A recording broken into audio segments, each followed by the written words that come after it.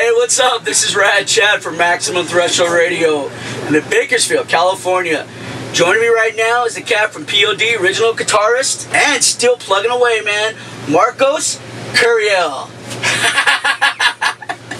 How you doing, man? What's You're on tour with 10 years, man. Thank you for joining me, man. on tour man. with 10 years, man. How the hell is that going, bro? Dude, it's awesome. Uh, you know, we, we uh, I didn't really know those guys too much, Mhm. and uh, getting to know you know these different bands on the road with us is has been a complete pleasure, man. Um, they're gentlemen, they're, they're nice dudes. Yeah. you know, it's, it's cool to get Solid band? solid band.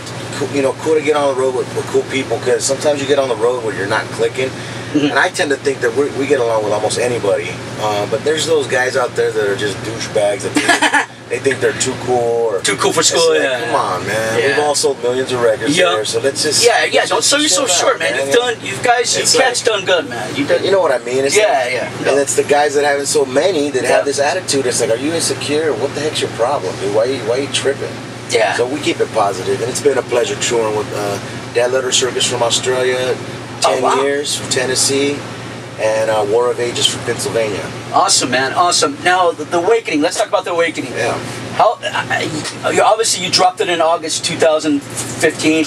It's gotten some. It's gotten a little bit of momentum, but then, I mean, let's be honest. I heard it's it's kind of it's kind of lost its little momentum. Is that is that because the critics or man? Because I've listened to the album, man. It's it's solid. Who's giving you that info? I don't know, but uh, they, they're telling me they're gonna kill me, man. nah, nah, that's cool. You know what it is, man? It's not that. It's, it's um, you know, at, at the, we've been in the business for a long time, Mm-hmm. and, and, it's about having a effective, good team. Mm-hmm. It's not just about the songs. It's not just about the band. It's about the effective team. You need a tribe, man. Just like to bring up kids, the same thing to bring up your songs, man. You need, Yeah. you need, you need the right people around you, and uh, we did some things differently on this on this uh, album cycle that we Mhm. probably could have done different and better, and uh, we're fixing that right now. Okay. And uh, I don't mean to throw you on the bus. I apologize, no, man. no, that's I, cool. I'm It doesn't, it doesn't, it's not necessarily that it's dying. We haven't put a second single out, and there's Yeah. a reason for that. It's not the, the first single went to. If you want to get statistical, Yeah, yeah. we uh, Well- first, the first song went to number 13, and uh, here in the in the United States, and we haven't released a second single because we've been having issues with management Mhm. and our record company. So that with that being with that being said, there's other singles on the record that we want to release, but you have to have the right team in place. So we're kind of trying to figure out who that is and how we're gonna make it happen, or if we're just gonna release something else and do a new record. But right now, we're definitely working hard and touring. And you know what? It shows when we play live.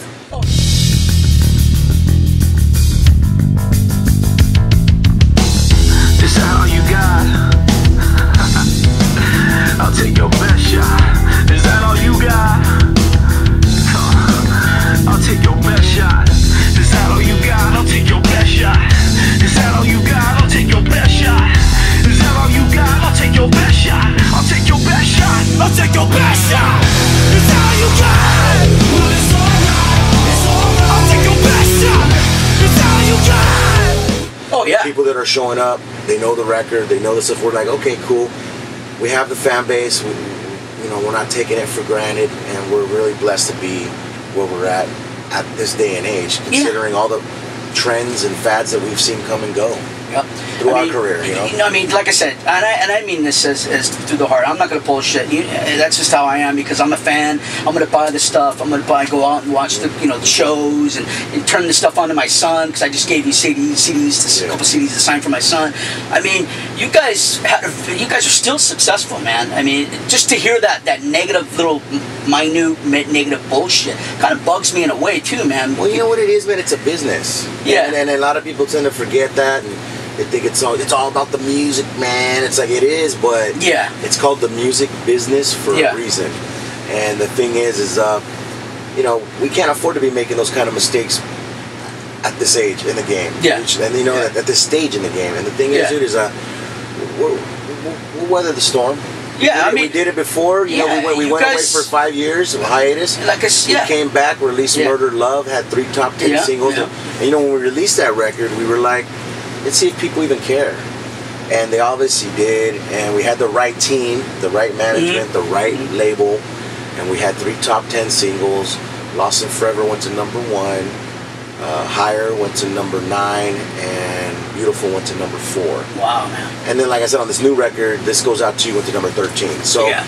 we're, we're there. It's just a matter of, Yeah, you know, you know, not- it's just, we, we don't know what the next Yeah. single's going to be, but Yeah. we may have to do grassroots and, um, and do it and, do, and put it out ourselves. And if it, grant, if it gains momentum on its own, you know how that goes. Yeah. People just kind of like become bandwagoners after a while. So Yeah, I mean, it is like you said, it is what it is. Getting back to the album, man. I mean, I noticed like on all your albums and all your, uh, you always have a special guest on it, man. Is that like like this one has you know Maria Brink from uh, In This Moment. I mean, you know the cat from. I'm sorry, I'm not too familiar with the cat that that, that from the punk band. uh, sick of it all. sick of it all, man. I mean, just I mean, what what is that? Is that artistic kind of coming come from you and that that the You band what? or? It, comes from all of us. Um, we've been, you know, very fortunate to be able to do that. Uh, That's a more of a pop hip hop thing for the collaboration thing. Gotcha, gotcha. And we we started doing it back on the satellite days, Mhm, and we thought it was a great idea. Like back then, we had HR from Bad Brains, Mhm. Eek-A-Mouse. Jimmy Josh, uh, I you mean, know, I mean, we've had-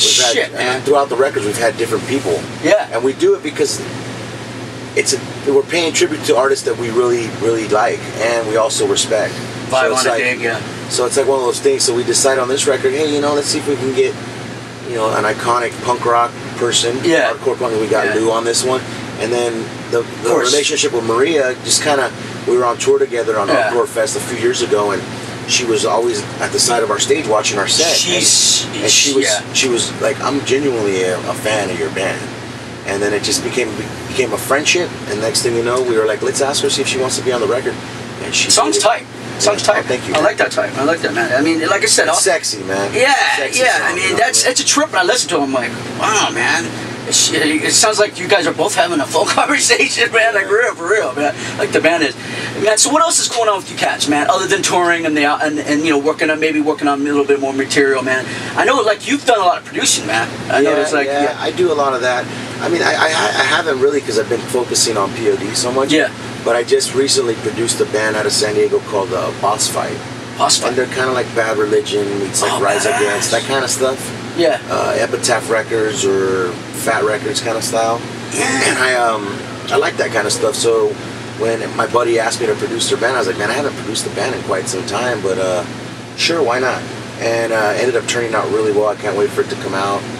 Uh, uh, the record's called Days of Grey, Days of Grey. and the album, the, the title of the band's Boss Fight. So if you get a chance, I Check produced- out. I produced that record. Yeah, so, anything uh, this cat does, I, I, I guarantee you, man. I mean, he's done what you've done stuff for for the Daredevil soundtrack.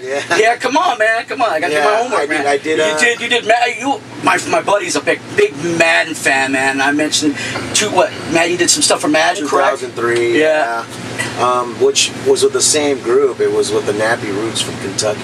Wow. was- they were a hip hop group. They wanted a rock remix of their hip hop song. So basically, I took all their tracks and Mhm. got rid of the music Mhm. and just listened to the original and structured their vocals and just played guitar and bass That's and drums and put drums on. I got it. everything. I got it. I got to Definitely got to check it. Are you more of a hip hop cat than, than you are a rock cat, man? No, I. Are you just I'm- I'm- you like just like combining that? You know what it is, man? It's it's not a thing that I force or con- it's contrived. It's the way I was brought up, man. I grew I grew up in the hood, so everybody listened. Yeah. Everybody listened to hip hop or new wave Yeah. or whatever. And then I was like the kid that was into metal, Yeah. and yeah. Same and, here. and I was like the kid that was like in my family, but I was also. Re- really, really seasoned with band like Carlos Santana. Yeah. I'm Latino. and My family, Yeah.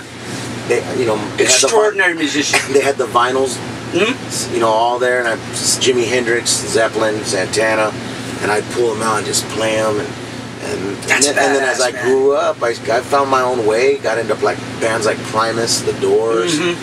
Metallica, Yeah. obviously. Master Yeah. of Puppets was the first Metallica record I Yeah, because if it wasn't like I said, if it wasn't for my Latino friends and my and my and my, my black brothers, man, I would have never gotten into to to the hip hop. Of course, I'm an old school hip hop, like you know Ice Cube and NWA and all those cats, man.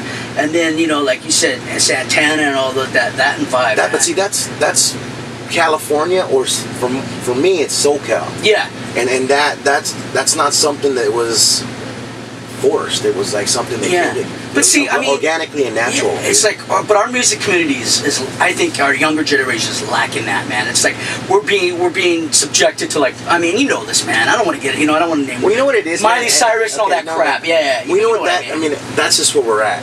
Yeah. Uh, I think a lot of that has to do with segregation.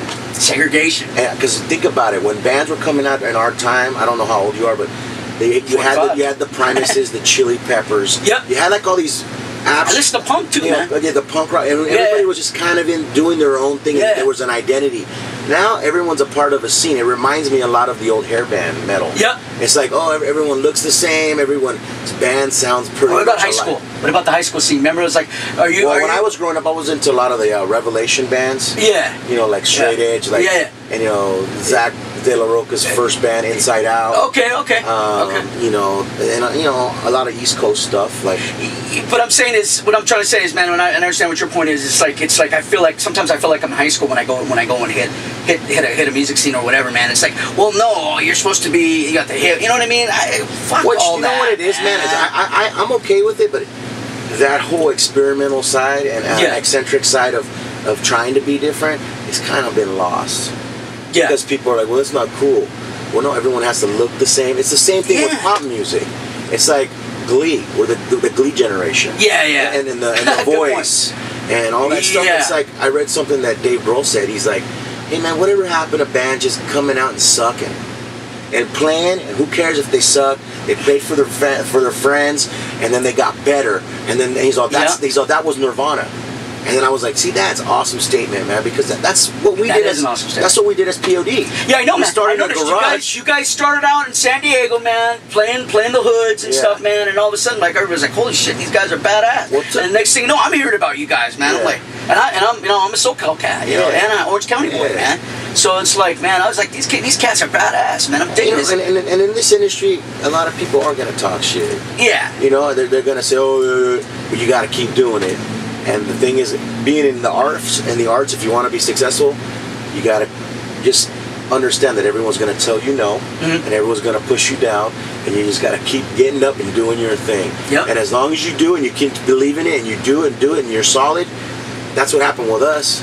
We, so many labels passed on us, and you know, I heard so many other bands labels passed on them. Like Linkin Park was one of them. All these labels passed on them. Yeah, that's amazing, on, huh? People passed on you too, and then these bands end up working their asses off and work and work, work ethic, and they get better as musicians, Mhm. and then they next you know they're, they're superstars. Yeah. you know, and, Yeah. and people are like, dude, you sure missed the boat on that one. yeah. You know, No, that's that's you know, what, man. You hit the you hit the hammer on the nail, brother, man. I mean, just imagination is important. Yeah. What does Einstein say? Imagination is more important than knowledge. there you go. And I think that the music has lost a lot of its imagination. Yeah. Oh, I do. I do. And I and I.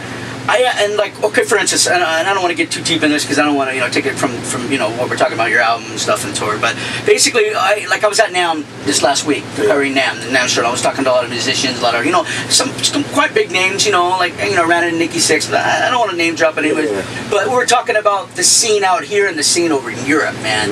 How out here they don't a lot of a lot of the people don't stay for the second, the third, the fourth band. They're only there for that one band and then they bail. Me, I try to stay for everything, man. But out there, they respect it more out in Europe, man. I don't know if you find that because I'm I'm sure you've toured in Europe and, and Asia and all that shit, It man. seems to be out of the states. When you go to Canada, when you go to Latin America, Mexico, Yeah, everybody is hungry for music. They appreciate it, they live it, they breathe it, Mhm. they die. You know what I mean? They just Yeah. love it, dude. For some reason, I think Americans have gotten too spoiled. There are certain markets, though, in, in, in America that are way stronger than others and way more fanatical than others. yeah. Um, and for a perfect example would be for POD Houston. Houston, New York, LA. Those are big cities, but then you'll go to some obscure areas and people just don't have a damn clue, man. Lansing, Michigan. or Yeah, you're something. like, what are we doing playing here? yeah. You know, like, you're so- like, who put? Wait a minute. But you know what? We don't, we don't, we don't discriminate. We feel that we need to play everywhere we get a chance, man. So Yeah. No, it's you know, good, But as man. far as Europe goes, yeah. there is definitely an energy of, dude, I want to More- stay and check out if I more can figure something new out. Yeah. I think the problem is, is that the music seems way too oversaturated, m- way more than it was when I was coming out on the scene. Yeah. Because of all the net, all the internet stuff and everything, and everyone can produce their own records. So there's a lot of crap out there. There is, and what's happening is, is a lot of people have to decipher, Decipher- siphon through decipher, everything yeah. and go, Yeah. You know what? What is it that I really like? And Yeah. I think a lot of people are lazy. Yeah. Back in the day, we'd go to record stores and I'd. Oh yeah, yeah, go, yeah. Now it's internet. Now it's internet. It's internet. And my, my son, my son's my son's 12 years old, man. I go, I go, dude, stop. I got, I'm, you should see my collection of records. It's awesome, my vinyl, man. Yeah. I go, dude, play some records. Don't the CDs and the iPods and all that crap, man. I'm like, you know what I mean? But anyways, man. Okay, hey, where can they find your social, all your social media sites, man? For, especially for the payable, record. payableondeath.com is our official website. Uh, at POD on Instagram, at POD on Twitter, and I want to say it's either at PO, Payable on Death or POD on Facebook. Oh, I'm So- glad you mentioned that. Okay, now here's I'm sure you've gotten this question. The Christian, Mm-hmm. you know, is it what is it is it a fact or true, man? Because I like to hear from the horse's mouth, basically, man. Is Well- it is, are you construed as a Christian metal band, or is it just a metal band that you like once in a while you you preach the word?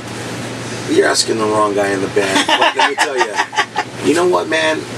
I I don't like labels. Yeah, I think music is a universal thing. It should be. Okay. Uh, you know, it's even with on the other end, like satanic bands or whatever the hell people want to say. To me, man, it, it's an energy that you're putting forth to the Okay. public. So like it's that. like it's to me, it's it's not. It's about positive energy. Yeah. And there's negative energy. Now, if you ask Sonny, the singer of our band, Mm-hmm. he's more apt to say, we can all agree uh, together that this isn't a technic, not a Christian band. yeah, but, But, but, yeah, we, but we are a band that has Christian roots, kind of like a U2 okay, or a Okay. Bob Marley. Gotcha. You know, like we speak about Gotcha. God, we speak about Jesus, Jah, but we're not. Gotcha. But we're not like throwing Bibles out in the crowd Yeah. and thumping people over the head. or John three sixteen. and all Yeah, that. we're not- No, we're not doing that. Thank you, thank you for Um, clarifying um, that, man. I appreciate it. But the it. thing is, dude, like that's a personal belief. okay, It just comes out in our music. okay. Like it's like, you know, it's it's it's a spiritual aspect, and a lot of people want it. They want us to be the poster child of their religion or their their denomination. We're like, nah, we're just POD, man. We we we believe. So you know, you don't get caught up in all that hype, then basically. That, and I like that, man. Uh, I mean, you know, but, but if somebody asks you, you're going to clarify. But you know, that's cool, man. Yeah, I appreciate that. I, mean, appreciate that. eh, dude. We believe in God, I do too, man. and um, you know now how the extent that you believe, and I believe that I don't No, have to go to church No, but, to- yeah, to- but to- the extent that you believe, and I believe that's your personal. thing. yeah, exactly. No, I agree. And- Thank and- you. and so it's like a lot of Thank you. people want to make these big, you know, what is it? Pleas of this is the way it needs to be, and that's the Yeah. way. You know, like political stances. Yeah, And I'm like, yeah. bro, chill out, man. yeah, just relax and listen to our music. Yeah. and our music's coming from a good place. It is, man. It is. Like I said, I grew up on it, man. I listened to it, and I and a mad respect for you guys. And that's But- you know what the awakening. That's what the journey is of the, the being a concept record. The Uh-huh. main character in the album, he's um he's struggling because he's basically dealing with a tragedy that happened in his life, and, he basically goes through the struggles that we all go through: sobriety, you know, Yep.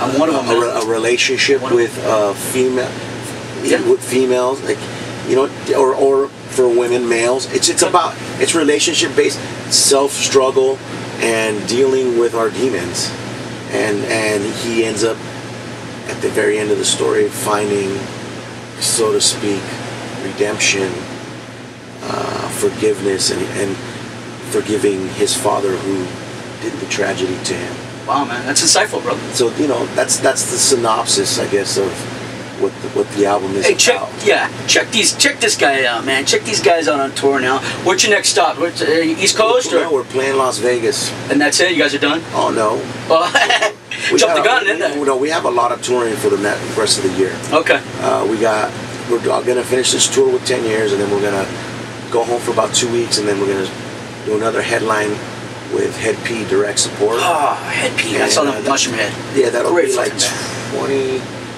20 days, and then home for a little bit, and then we hit all the festivals. Carolina Rebellion, Rock on the Range. Rock on the range. Yep. Um, we'll be, we'll be there. Yep. We'll be doing all that stuff, man. Hey, where can they get your personal website, my brother, man? My What's personal stuff uh, on Instagram, official Marcos Curiel.